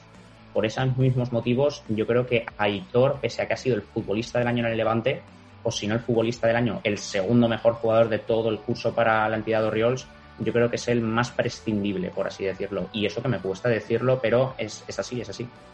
Que Bardi es un jugador que dices, como la rompa un año y tenga un año, una temporada muy buena, como por ejemplo la ha tenido Héctor Fernández, no veo descabellado que un equipo muy, muy, muy top, no, no digo Real Madrid, pero un Atlético de Madrid, un equipo que al final está ahí peleando, se lo pueda llevar. Y ahí el Levante se hace de oro, porque es un jugador que para mí sería la venta más cara del, Levante, incluso. la de Lerma, ¿no? Por 30. Lerma por 28 creo que son. Por 28. Pues es que yo creo que si Bardi hace un año bueno, muy, muy bueno, puede valer más. Entonces, ya no mirando deportivamente, mirando el lado económico que al Levante le tiene que importar, yo prefiero deshacerme de Aitor y obviamente mirar el mercado de porteros y fichar un buen portero que deshacerte de Bardi y ahí ya, mm, como Bardi, otro no vas a encontrar en el mercado. Porque aunque sea un poquito irregular, los partidos que lo hace bien es determinante. Y este año lo ha sido. Y con campaña más de lo mismo. Entonces, si el Levante tiene que vender, que ojalá no tenga que vender a nadie, yo me decanto más por el portero que por un jugador de campo, porque para Paco López es más importante ser un equipo ofensivo y atrevido más que un equipo replegado. Si el sistema fuera el que el que impartió Marcelino, que es un equipo muy cerradito, cerraba las líneas, tal, ahí te puede decir, bueno, ahí el portero me encaja más. Pero en un sistema más ofensivo, tanto Bardi como Campaña tienen que estar en el, en el equipo y no tanto una figura como Héctor Fernández, que aunque te salve puntos, yo creo que hay muchos porteros en el mercado que también, aunque no de, aunque no de la manera que lo ha hecho Héctor Fernández este año, puedan también salvar a... De hecho, creo que en segunda división el, no sé si el Levante tiene opción de compra por Mariño no sé cómo está el tema con Mariño no sé si lo vendió pero creo que ha hecho una muy buena temporada de segunda división no estoy seguro pero por ejemplo por decir un portero quiero decir que hay muchos porteros que pueden rendir a ese no a ese nivel de Aitor Fernández este año pero sí a un nivel parecido Sí, se habla, por ejemplo, la opción de, de Bono, que ahora mismo es el portero del Sevilla. Parece un portero también. Es que... al Girona, seguramente el Sevilla no va a hacer un esfuerzo por volver a, bueno, por volver a traérselo o incluso pagar una suma de dinero para, digamos, que se quede allí en Nervión. Más que nada porque, aunque sí que ha dado buen rendimiento en estos últimos tres partidos, que ha sido cuando ha lesionado Baslik, yo creo que el portero titular es el checo y seguramente pues traerán a lo mejor un perfil más secundario que no, que digamos que acate mejor esa posición de suplente. Entonces, si Bono se queda en el limbo mm, de no saber qué hacer, por ejemplo, si el Girona no sube, seguramente Bono se tendría que buscar las lentejas también donde fuese. Y si finalmente Aitor acabase saliendo, a mí personalmente Bono me parecería un buen sustituto. ¿Qué es lo que comentábamos? Probablemente si viniese Bono, los números no serían los mismos que los de Aitor porque al fin y al cabo la temporada que ha hecho es escandalosa. Para mí, es que Aitor merece ir a la selección española, lo llevo diciendo desde hace bastante tiempo. Pero mm, digamos que Bono es un muy buen portero que podría igualar esas estadísticas o quedarse cerca, mientras que otros perfiles como el de Ennis Bardi serían muchísimo más difíciles de sustituir. Ahora mismo, Ennis tiene o se comentaba de un interés del Arsenal para hacerse con sus servicios, no significa que haya una oferta del Arsenal, porque al fin y al cabo allí en el conjunto londinense tendrá una lista con 60 nombres entre los que estará Ennis Bardi, pero si ya hay interés por lo que ha hecho este año, imaginemos que la temporada que viene, pues las cifras que había dicho Jorge, 10 goles, 8 asistencias, a mí sinceramente me parecerían un escándalo. Directamente se te planta el Arsenal con 45 50 millones. Es así, entonces Oye, Sergi, y que, no, te, no te hemos escuchado a ti todavía. Eh, ¿Quién sería para ti el nombre propio de la temporada? Y ya, oye, ya hacemos una ronda de consulta de despedida del Levante 2021, 2021 y nos vamos. Sergi. para mí, la pieza fundamental del Levante ha sido Héctor Fernández. Yo lo tendría claro, yo me he quedado a los tres, pero como sé que eso es muy difícil, pues si tengo que prescindir de uno, a ver, si yo fuese Paco López, yo me quedaba con, eh, con Aitor Fernández porque es que pienso que el Levante siempre con Paco López ha sufrido mucho defensivamente y que si no llegase por Aitor Fernández, pues me hubiese metido el doble de goles, ¿no? Pero, y sí, pero sí que es verdad que pensando en todo el club, no económicamente, eh, deportivamente también, creo que encontrar un jugador como Bardi es muy difícil. Y eh, Bardi costó muy poco al Levante y se puede ir por una cantidad, vamos, estratosférica. Y creo que es lo que dice Álvaro, puede ser que el año que viene la rompa, pero es que también hemos visto que es un jugador muy irregular y puede ser que el año que viene se lesione. No, no sé, yo sí tengo que prescindir de uno, evidentemente campaña no, porque es que es como dice, parejo del, Levante y es, titular indiscutible y es que nadie le va a quitar el puesto. Si tengo que prescindir de uno, pues si fuese Paco López, pues empezando en el club y todo, pues prescindiría de Aitor Fernández siendo un porterazo, porque sí que es verdad que encontrar un portero de buen nivel es más fácil que un jugador como Bardi con su edad y con esa técnica y con ese golpe de balón que es que es una delicia verlo jugar. Hmm. Oye, y eh, vamos a ver, ya muy rápido, ¿creéis que Eurolevante el año que viene, Jorge ya se ha mojado, él ya decía que, que, que o bien Eurolevante o bien como mínimo estar luchando durante la temporada y dar ese salto y estar entre los 10 primeros, ¿creéis que, esos son los objetivos del Levante 2021? A ver, Yo creo que sí. no tiene que ser un objetivo meterse en Europa o, quedar entre los 10 primeros, pero sí que tiene que estar en la mente de todos. Porque obviamente el Levante puede tener un año malo y, bajar a segunda división, porque puede pasar. Yo creo que el objetivo primordial es quedarse en primera división y a partir de ahí quemar etapas, pero con la mente puesta en vamos, no vamos a conformarnos con quedar décimo cuartos. Si podemos quedar décimos, si podemos quedar novenos, si podemos quedar octavos, mejor. Pero siempre la primera opción salvarse. Pero eso, el Levante y el Getafe también, aunque esté en Europa, quiere decir. Es algo que ellos tienen que, cuando lleven 50 años en primera división, ya dicen, no, mi objetivo es Europa. Pero ahora mismo tiene que seguir primera, primera, primera, primera, primera. Y luego ya, si se puede seguir soñando, mejor, pero con ambición. Es decir, si el Levante vemos que en la jornada 20 se va, se va a salvar, tiene puntos para hacerlo, a seguir. Y, y no conformarse con, bueno, ya me he salvado y a ver qué y si puedo no sufrir las últimas dos jornadas, mejor no. Si puede no sufrir las últimas ocho y se puede quedar octavo noveno, pues mejor que mejor. Pero primer pensamiento, salvarse. Y a partir de ahí, para arriba. Yo también quiero eso. Creo que el club no debería exigir, ni la afición exigir ir a Europa. Pero sí que es verdad que no cuando se consigue pues esos 41 puntos, creo que son la cifra mágica de, de quedarse en primera división, ¿vale? De no descender pues ya decir, vale, pues ya está temporada hecha y pensamos en la siguiente. No, irá más, como ha hecho el Getafe o otros equipos, el Granada. Hemos conseguido el objetivo, que es, el nuestro tiene que ser permanecer en primera división. Si ya se ha conseguido, porque llegamos a la jornada 32 con la cifra de puntos ya para salvarnos. Pues vamos a pensar más y no vamos a relajarnos y pensar en las vacaciones, que creo que es lo que ha pegado justo este año, lo que ha pegado el Levante, y creo que el año pasado, bueno, el año pasado, el año pasado se, salvo creo las últimas jornadas. pero bueno, creo que el año que viene tiene que conseguir cuanto antes esa cifra para permanecer en primera y ya pensar en, por qué no ir a, Europa, claro que sí. Mm. Venga Álvaro, la última palabra y despedimos ahí al Levante y a la temporada.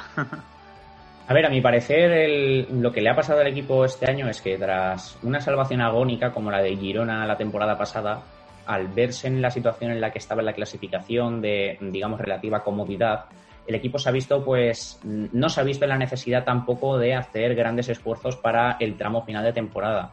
En cuanto parecía que el objetivo de la salvación estaba ahí, digamos que bajaron el acelerador o bajaron un par de marchas al ritmo que estaban llevando y ha sido el motivo por el cual ahora mismo no hemos visto al Levante a lo mejor en la novena posición, en la octava posición, el hecho de haberse visto tan cómodo en la clasificación después de una temporada pasada en la que se peleó hasta el final y la que tocó sudar sangre. Entonces, mm, a mí me da la sensación de que la temporada que viene no vamos a ver tampoco un euro levante. También un poco por lo que comentaban mis compañeros, de que el objetivo no puede ser desde el primer momento, este año nos tenemos que meter en Europa. El objetivo tiene que ser la salvación, pero tiene que ser conseguir la salvación no a cualquier coste, sino mm, con margen de maniobra para después dar un golpe sobre la mesa. Podría haber sido este año, pero yo espero que la temporada que viene se siga con el mismo guion y que luego el equipo realmente, después de una temporada de trámite o de, digamos, transición, por así decirlo, coja y diga, este año sí que tenemos que dar un paso adelante. Y para mí el paso adelante sería, por ejemplo, quedar noveno. A mí me basta con que el Levante quede noveno o quede octavo, que se meta entre los diez primeros de la clasificación y que diga, hey, aquí estoy para que sea un equipo después a tener en cuenta. Y luego dentro de dos años, en la temporada 2021-2022, lo mismo, que el objetivo sea la salvación, pero con margen de sobra para, digamos, conseguir poco a poco ir colándose, ir colándose en posiciones, pues quedar octavo, aspirar a quedar séptimo y dar, finalmente dar un machazo y decir, mira, tenemos un nuevo Euro Levante.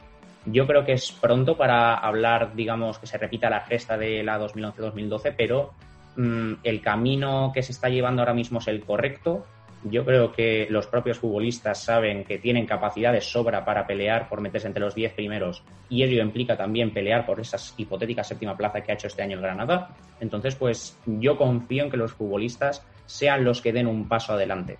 La, no la temporada, bueno, tanto la temporada siguiente como la siguiente de la siguiente de la siguiente. Yo creo que este equipo tiene potencial y son ellos mismos los que lo saben. Si no, tienen que darse cuenta de que el equipo a día de hoy tiene muchísimo potencial. Bueno, chicos, pues eh, hasta aquí. Eh, lo de siempre me quedaría hablando, pero nos va a empezar la temporada 2021 aquí de charreta. Oye, ha sido un placer, ¿no? Estar con vosotros durante, durante este año, ¿no? Y seguir la actualidad del equipo, o sea que del equipo del Valencia, del Levante, o sea que Álvaro, Jorge, Sergi, nada, muchísimas gracias. Nada, vosotros. Pasar un buen verano. Eh, y nada, nos despedimos. Nos vemos en, breve aquí en, nuestro sport. Muchas gracias. Vamos. Cercana. UPV Radio. La Politécnica. Abierta a ti. Jazz. Solo jazz. Punto Jazz. El mejor jazz. En UPV Radio, los jueves a las 10 de la noche. Y si te lo pierdes, los lunes a la una del mediodía. Aquí en UPV Radio, 102.5 de la FM. Y por internet, radio.upv.es. Punto jazz. Punto Jazz. Punto jazz. Punto jazz. Conoce tu casa. La casa del alumno. Un lugar donde aprender, Jugar estudiar. En el campus de Vera. únicamente y para todos los alumnos de la Politécnica. La casa del alumno. Nuestro punto de encuentro. Conócenos también en casadelalumno.blogs.upv.es. Universitat Politécnica de Valencia.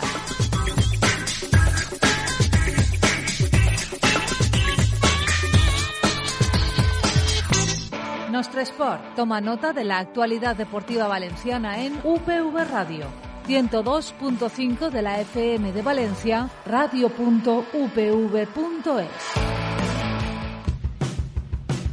Ponte las zapatillas. Sí, tiempo ahora de ponerse las zapatillas, dejar tanto el fútbol y vamos con nuestro bloque polideportivo, un bloque que avui parla valencià. I parla valencià perquè anem a parlar de pilota. Anem a parlar en José Antonio Montagudo, responsable de comunicació de Fanpival, la Fundació per la Pilota Valenciana, que és l'entitat, la fundació que gestiona les competicions professionals del nostre esport. Un esport que, per cert, ha sigut un dels primers en reprendre l'activitat i que ha sigut capaç de treure endavant les seues competicions. Per exemple, la Lliga Bankia, la Lliga Banca, que és la Lliga Professional d'Escala i Corda, i també de Raspai, que acaben este mateix dissabte. José Antonio en su conta. Bueno, i encara que el futbol, el bàsquet i molts, molts altres esports ja han terminat, hi ha una disciplina que és molt nostra, que és la pilota valenciana, que, que encara està competint i que estem ara en el moment més, més en el moment més important de la temporada. I es tracta de la pilota, la pilota valenciana. Per això tenim a José Antonio Montagudo, ell és el responsable de, comunica de comunicació de la Fundació per la Pilota Valenciana. Hola, José Antonio. Hola, què tal, José Luis? Hola a tots. bueno, pues primer que res, agrair-te no? que estigues en nosaltres, en el que és ja l'últim programa de la temporada per a, per a nostre Esport Ràdio. I, bueno, conta'ns, la pilota, la pilota valenciana, com totes les disciplines esportives, es va fer, no? va tindre un impacte fort, va, va aturar les competicions eh, per el, ma, eh, el mes de març, i, bueno, en juny crec que ja començaré a reprendre la temporada i la idea és acabar-la, no?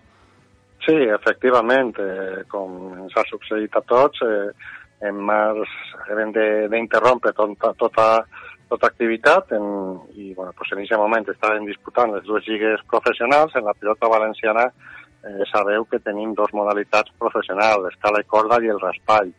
Estaven jugant-se les dues lligues, les dues competicions, i es van interrompre. Eh, ha passat el confinament, mentrestant els pilotaris han continuat entrenant-se, primer a casa, després quan ja es va passar a, quan es va donar la possibilitat d'entrenar a l'aire lliure, doncs van, van continuar la seva preparació ahir. Posteriorment, en el trinquet, a tocar pilota, que era, pues, si no el més important, però sí fonamental, i l'últim pas ha sigut eh, reactivar no? la, la pilota, reprendre l'activitat, en aquest cas, en, en les lligues, en les lligues Bankia. Mm -hmm. El passat dissabte van tancar la Lliga de Raspall, va mm -hmm. ser al cinquè de Castelló de Rugat, on, on va jugar la final, i ara ens queda la, la Lliga Bankia d'escala i corda, on ahir van començar les semifinals. La, la primera semifinal va completar ahir la partida d'anada al cinquè de Massamagrell i esta vesprada tenim al cinquè de Guadassuar la partida d'anada de la segona semifinal. Mm -hmm. I serà les semifinals perquè la final quan està prevista jugar-la? La semifinal d'esta Lliga d'Escala i Corda jugarà l'1 d'agost mm. al Trinquet de la Jo de València. Mm.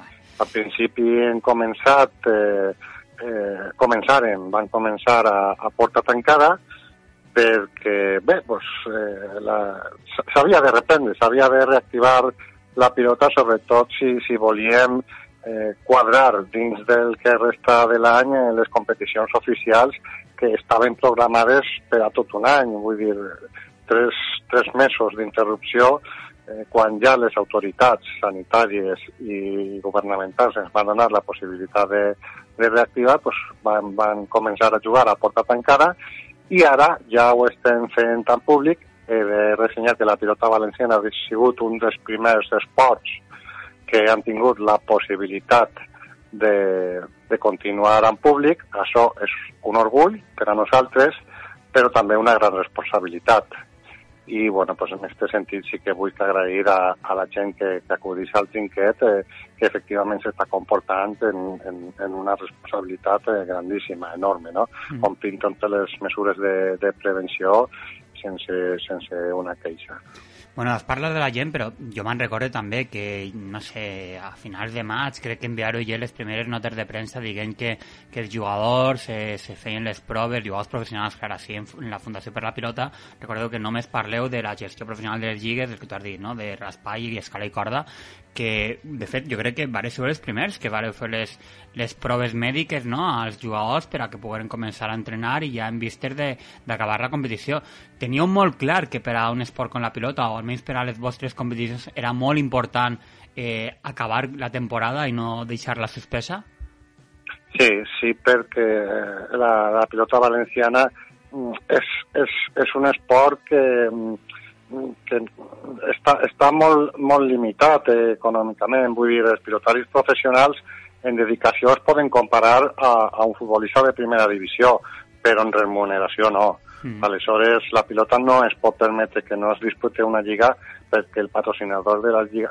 La competició oficial que no completes, el patrocinador pues, eh, no, no, no, no, està conforme. No, pot, no, no, clar, no, no, no, no que estigui conforme, és que després els convenis estan ahí, vull dir, jo patrocini una lliga, si no n'hi ha lliga, eh, pues no n'hi ha patrocini. Mm. Aleshores, eh, s'havien de completar les competicions oficials perquè, eh, bueno, pues la prioritat és, eh, des de que va sorgir la Fundació, és dignificar la, la figura del, del pilotari, i sobretot laboralment.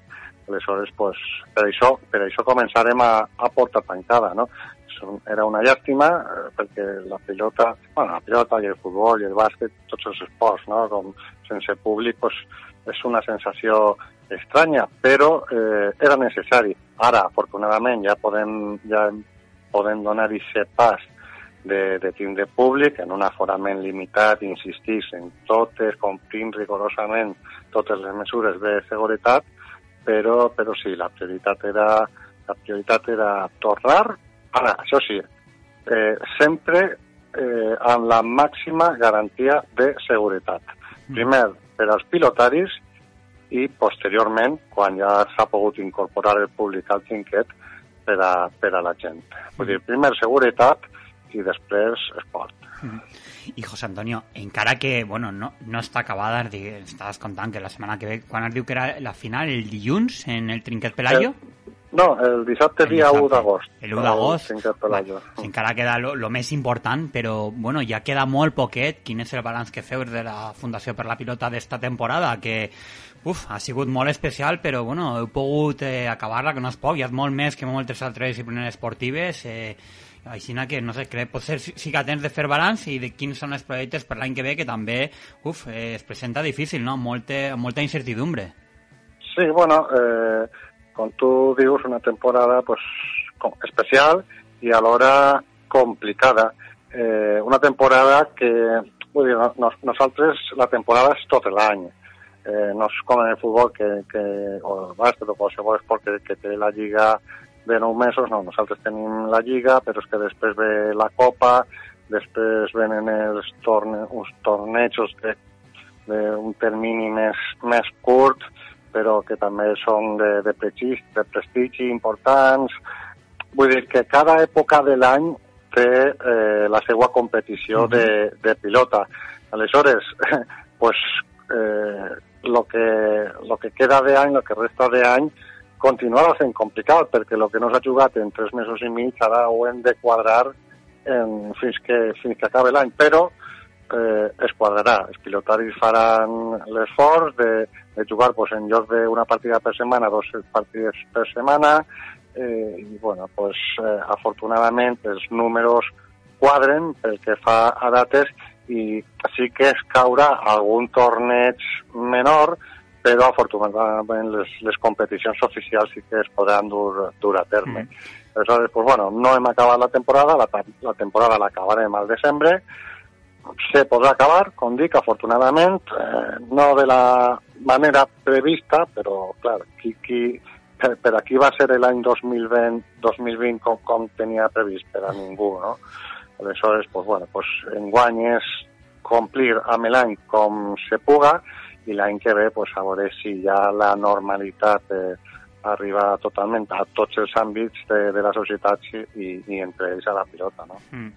Bueno, José Antonio, pues jo crec que heu d'estar molt contents eh, del treball que heu fet estos dies i d'haver sigut capaços de treure endavant la competició, que no era un panorama gens fàcil, o sigui que jo crec que enhorabona i moltes gràcies per portar-nos no, una miqueta de, de l'actualitat de la final. Recordeu-vos, no?, el dissabte, la final de la Lliga Bànquia d'escala i corda, la Lliga de Raspall, ja terminada. Moltes gràcies, José Antonio. Moltes gràcies a vosaltres, un plaer i un honor estar en el en l'últim eh, dia de, de la temporada, que, que gaudiu d'unes merescudes vacances i, bueno, pues, eh, ja, ja estem impacients de, de tornar a que, en esta espera, no?, para pa que torneu pronte. Sí, anem a descansar una miqueta en aquest estiu i després ja en setembre Sí. comencem amb més força. Molt bé. Bon estiu també per a tu. Gràcies, igualment. Un. Adéu. Está sintonizando con el deporte valenciano en Nostre Sport, UPV Radio, 102.5 de la FM en Valencia y en streaming y podcast radio.upv.es. Ponte las zapatillas. Estábamos hablando con José Antonio Montagudo, que es el responsable de comunicación de Fanpival, que nos ha traído la, última hora ¿no? de- del final de la competición de la Liga Bankia de Escala y Corda y de Raspall. Tiempo ahora para seguir con el polideportivo. Nos quitamos las zapatillas, más que quitarlas, vamos a cambiarlas, porque de la pelota vamos a embarcarnos. Y vamos a embarcarnos nada más y nada menos que en un buque escuela para recorrer las aguas del Mediterráneo. El buque escuela Cervantes Saavedra, que hoy, esta mañana, del miércoles 22, ha presentado su proyecto Travesías del Mediterráneo, que es un proyecto que parte de Valencia y que de la mano de Oceanographic, pues bueno, va siguiendo una ruta para ir conociendo las migraciones de algunos de los grandes eh, mamíferos y demás fauna que tiene nuestro mar. Para ello vamos a hablar con Alberto de Zunzunegui Balbín. Bueno, y seguimos con nuestra sección polideportiva y ahora vamos a hablar con, bueno, con el director general del buque Escuela Cervantes Saavedra. Él es Alberto, tiene un apellido un poco complicado, ¿eh? ya me perdonará. Alberto, ay, es que más se me ha ido Zuzunegui. Zuzunegui. ¿Lo he dicho bien, Alberto? Perdona. sí, nada, nada. Oye, muchas gracias, buenos días. Eh, sí, es de Zunzunegui. de Zunzunegui. Mm. de Zunzunegui, apellido, apellido vasco. ¿eh? Claro, lo que te iba a preguntar. Bueno, este apellido es vasco seguro. No sé si tú también o solamente el apellido. Bueno, el, yo soy nacido en Madrid, pero sí, por parte por parte de padre la familia es, es del norte. Bueno, por parte de, padre del norte y por parte de madre asturianos, ¿eh? Balbín. Muy bien. Así bueno, que gente del norte. Bueno, Alberto, pues tú eres el, el coordinador ¿no? de este buque escuela. Cuéntanos primero qué es el buque escuela Cervantes Saavedra. Bueno, pues el, el Cervantes Saavedra es un, técnicamente es un bergantín goleta. Es un barco de tres palos, un barco clásico, construido en el año 1934 en Suecia, originariamente como buque faro. Era un buque de señales dedicado pues a, digamos a señalizar peligros en el mar, en aquellos lugares donde no se podía construir un faro. El barco estuvo en activo hasta el año 70 y ahí quedó amarrado en el puerto de Estocolmo hasta que un, un armador con visión, conocedor de la solidez de su casco, compró el barco, lo adquirió y lo llevó a Portugal para transformarlo en un, en un bergantín goleta, en un velero de tres palos, que es lo que es actualmente hoy en día. Y el barco, bueno, pues pasó por diferentes manos, ha estado recorriendo todo el mundo, fue, llegó hasta Australia, hasta Sydney, eh, como representación de la ciudad de Estocolmo, en el 200 aniversario de Australia, y ha estado haciendo la Catisar, ha en el Caribe, en fin, el Mar Rojo. Es un barco que ha viajado por todo el mundo. Y en esta última etapa, pues eh, aquí en, España, fue adquirido por, la institución educativa SEC, por, por don Felipe Segovia Olmo, que por desgracia nos dejó hace unos años. Y él era un visionario, un visionario de la, de la educación y de la formación. Y entendía que el, el mar era un contexto perfecto para la formación humana para contribuir a, formar personas no solamente eh, dándoles una educación o a nivel educativo o a nivel cultural, sino también incluso en valores humanos, que es eh, pues incluso mucho más importante, ¿no?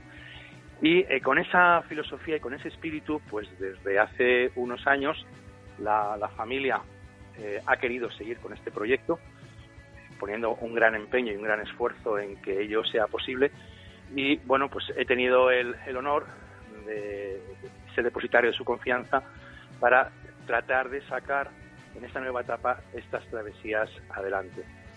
Son travesías formativas que combinan, por un lado, los conocimientos eh, náuticos, la formación náutica en sí, digamos los conocimientos relativos a la navegación a vela, a la nomenclatura náutica, se hacen talleres de, nudos a del barco, con diferentes temáticas en torno a, pues, a cultura, a, historia, incluso música, ¿no? Eh, eh, de hecho, una de las travesías que estamos ahora mismo, eh, bueno, pues que tenemos ya a la vista, para, en concreto será el 25 de agosto, será con el Oceanographic de Valencia y es una travesía donde vamos a tratar de dar a conocer también el ecosistema marino, mm. con la colaboración de unos grandes expertos como son ellos. Claro, de eso te quería preguntar, porque si no me equivoco, hoy es, hoy es miércoles 22 de julio y esta misma mañana, ¿no? Habéis presentado esta travesía que tiene como nombre eh, Travesía del Mediterráneo, Grandes Migraciones Marinas, que es un proyecto que por lo que me estás contando, por lo que ponéis aquí en nuestra en la nota de prensa que enviasteis,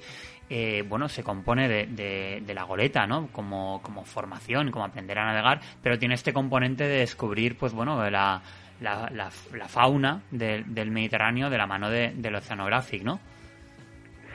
Sí, efectivamente. Hay, hay una cosa que para mí es muy importante, y es que eh, hoy en día la palabra sostenibilidad, ecología o ecosistemas es una palabra que, eh, bueno, se escucha con frecuencia, está puesta en boca de todos, y de alguna forma, eh, bueno, se intenta eh, que esas palabras formen parte del ideario de un buen ciudadano, que aprenda y que sepa respetar el planeta. Pero para respetar algo hay que amarlo, y para amarlo hay que conocerlo. yo creo que una de las asignaturas pendientes que tenemos como sociedad es acercarnos al mundo en que habitamos, no solamente desde un punto de vista lúdico, que lo hacemos evidentemente, o desde un punto de vista pues, económico, extractivo, ¿no? en el caso del mar, pues, la pesca, etcétera, sino también eh, conocer de verdad cómo son esos, ecosistemas, ¿no? cómo es la vida, cómo, qué es lo que hay que proteger, ¿no? Eh, dar a conocer pues, las especies que habitan en esos ecosistemas y las peculiaridades de esos ecosistemas, incluida también su fragilidad, para que entender cómo el ser humano puede afectar negativa o positivamente con su acción sobre ese ecosistema. ¿no? Y qué mejor socio para ello, en este caso, que eh, el del Oceanográfico de Valencia, que es institución de prestigio que lleva años empeñado en esa labor eh, formativa y divulgativa, eh, pues con ellos hemos entendido que había una, una simbiosis perfecta donde además de enseñar en el propio Oceanographic todo lo que tiene que ver con el mar, eh, hay una parte que, que, daba como asignatura pendiente también para ellos, que era llevarse a la gente al mar, a, sobre el terreno, poder experimentar, ¿no? Y poder desde hacer observaciones de, esos cetáceos que, que, vemos con frecuencia también en nuestras costas, hasta tomas de plancton en el agua, hacer algún experimento, de alguna forma vivir a bordo de un barco, es decir, llevar esa formación, esa divulgación, eh, pero ofrecerla en su contexto, es decir, en este caso en, el mar a bordo de un barco. Mm. Y eh, bueno, pues con ese espíritu nace esta, estas travesías, travesías efectivamente eh, Planeta Azul también, que, que, es el que hemos denominado, y que como eje central esta primera pues tendrá efectivamente las grandes migraciones marinas. Oye, y es una travesía de, seis días, ¿no? Bueno, aquí con salida y llegada, o sea, se sale desde Valencia, termina también en Valencia, pero pasáis fondear, y fondear es hacer noche, ¿no? En, Ibiza, en Formentera.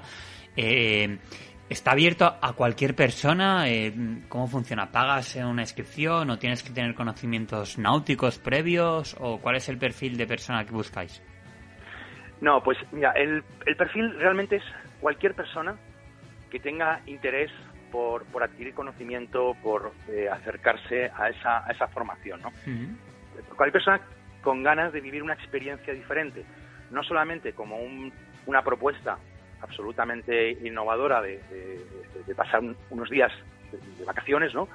sino que además es una experiencia formativa, una experiencia vital, donde vas a poder convivir a bordo con otras personas con esos mismos intereses, ¿no? Porque al ser travesías temáticas, lo bueno y además es realmente enriquecedor es que las personas que van a bordo del barco son personas que tienen, la mayoría, lógicamente, esa misma inquietud, con lo cual es fácil que no solamente eh, haya oportunidad de escuchar a, a, los ponentes o a las personas que imparten los talleres durante esos talleres, sino que luego, de forma espontánea, pues en la cubierta del barco, bajo las estrellas, pues se producen tertulias que son a veces incluso mucho más enriquecedoras. La travesía efectivamente zarpará desde Valencia, con destino a las Pitiusas. Eh, iremos a, visitar las calas, las maravillosas calas de, Ibiza y de Formentera. Eh, pasaremos las noches fondeados en los lugares, en aquellos lugares donde podamos hacerlo, siempre respetando el fondo de, de Posidonia, eh, que es algo que, bueno, hay que tener siempre muy en cuenta y que tenemos muy en cuenta durante nuestras travesías. Y luego regresaremos a Valencia.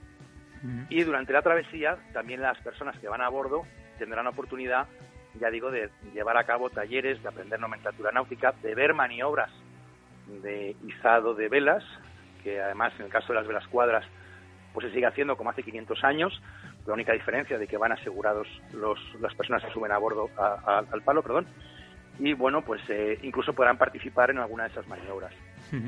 Y, eh, y, luego disfrutar de los talleres, lógicamente. Bueno, Alberto, pues menudo, menudo planazo con un componente de, ocio, de, formación, de, de, estimar, ¿no? Este Mediterráneo que nos da la vida, nos da todo. Muchísimas gracias por habernos presentado. Recordemos, Travesía del Mediterráneo, grandes migraciones marinas, con la goleta Cervantes Saavedra, perdón, con la goleta, con el Bergantín goleta Cervantes Saavedra. Y bueno, me está hablando con Alberto. Muchas gracias, Alberto. Nada, a vosotros. Y si queréis, si alguien quiere eh, saber algo más, puede dirigirse a nuestra página web www.goletacervantes.es y ahí podrá encontrar toda la información relativa a nuestras travesías. Muy bien, pues recordemos www.goletacervantes.es y ahí puede ver ¿no? horarios, salidas, inscripciones, etcétera. Alberto, pues nada, muchas gracias y te emplazamos a ver para próximos proyectos. Muchísimas gracias, un placer haber hablado con vosotros. Un saludo, hasta luego. Hasta luego. Está sintonizando con el deporte valenciano en Nostre Sport, UPV Radio, 102.5 de la FM en Valencia y en streaming y podcast radio.upv.es. Bueno, señores, y hasta aquí todo lo que nos ha dejado este programa. Recordarlo que además de hoy a las dos y media, si no has podido, también podrás oírlo hoy miércoles 22 de julio a las 23 horas. Y si te lo pierdes, pues en la plataforma de radio a la carta de la UPV Radio. Y si te lo pierdes, o si quieres volverlo a consultar en nuestro diario, en nuestrosport.com, en nuestro canal de Ivos, en nuestras redes sociales, en Facebook, en Twitter, en Instagram, en YouTube y todo eso y mucho más. Y nosotros hasta aquí ha llegado la temporada. Nos despedimos. La temporada 2021 más y mejor. Nos vamos de veranito. Summer con Calvin Harris. Summer. And we could be together, baby. As long as skies are blue. You act so innocent now. But you lied so soon.